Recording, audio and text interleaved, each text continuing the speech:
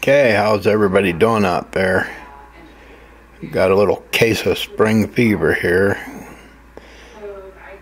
Just thought I'd take my, uh, actually, I just got a new bike. It's a 2020 CRF 250L.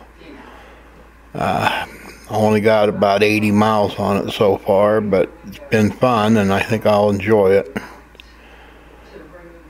But I thought I'd just check out different angles from my GoPro, whether it be on top of the helmet or chin mount or what. So I'm just out driving around the south end of Ogden, Utah. That's the town I live in, and see what I think of each angle.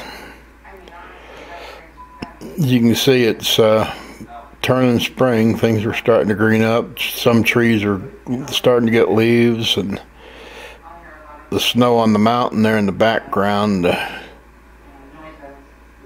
it's receding, but it'll still be two weeks to a month at least. A lot of the mountain roads, of course, are closed still. They usually open, oh, sometime around the end of May. Usually they try to get most of it open by by Memorial Day weekend, but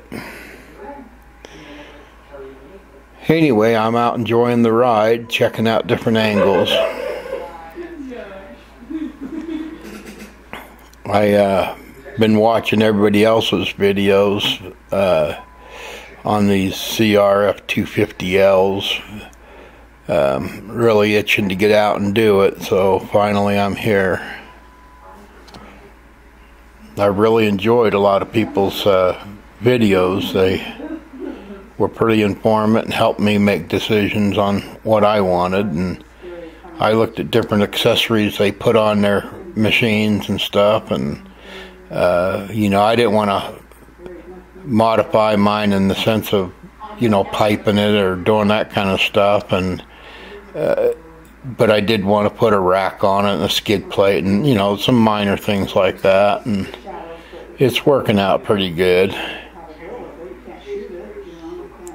I watched a lot of the woodsman uh, videos and you know, he's kind of inspiring because he's a little more like me. He's uh, a little more down to earth. I, you know, I'm not young anymore. When I was young, I'd have had to pipe it and do everything you could. In fact, I probably wouldn't have got a 250L. I'd have probably got a KTM or something. And back, back, back in my days, uh, it was like the CR 500s and the CR 250s and the KXs and the YZs and stuff like that, the old two strokers.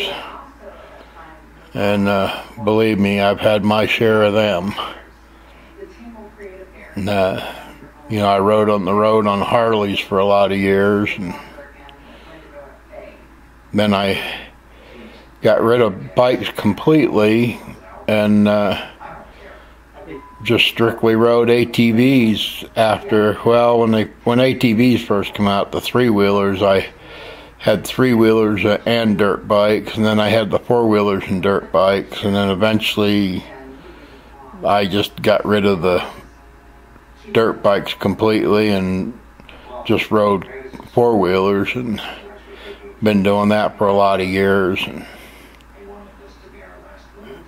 just got tired of every time I wanted to go ride I had to haul it somewhere to go ride it and now I can just go out and hit the button and start the bike up and go for a spin somewhere. And of course, when the snow's gone, I'll run up into the mountains and do some dirt roads and trails. And but for now, it's just cruising around on paved roads here, close to ta- close to home.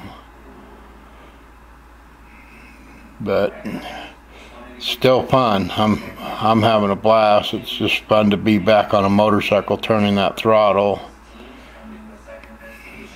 makes makes me feel better, especially with all this virus stuff going on and junk. Uh, gives you something you can go do at least instead of just being hibernated the whole time.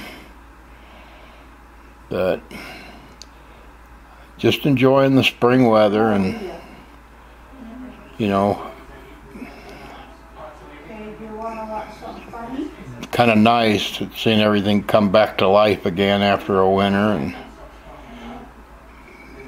just makes you want to go do stuff. Everybody out walking around, walking their dogs and jogging and different things and doing yard work. I did my share of that the last few days. I'm sure everybody gets a taste of it, but things are looking good, and uh, I'm looking forward to, you know, having a good ride during the summer months and fall and stuff. And anyway, I think I'm going to cut this short here pretty quick. So uh, uh, thanks for watching, and I'll probably make some more of these. I don't know. Who knows? uh, See you on the next one.